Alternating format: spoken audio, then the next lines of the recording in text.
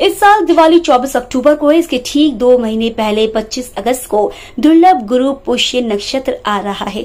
25 अगस्त को दशा महायोग का ऐसा दुर्लभ संयोग पिछले 1500 सालों में नहीं बना।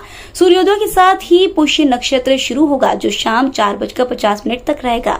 बारह घंटे के इस महामुहूर्त में हर तरह का शुभ कार्य लाभदायक, स्थायी और शुभ फलदायी रहेगा।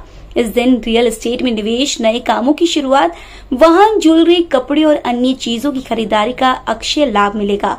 साथ ही घरेलू और ऑफ़िस में इस्तेमाल की ज़रूरी चीज़ें खरीदना भी शुभकारी रहेगा।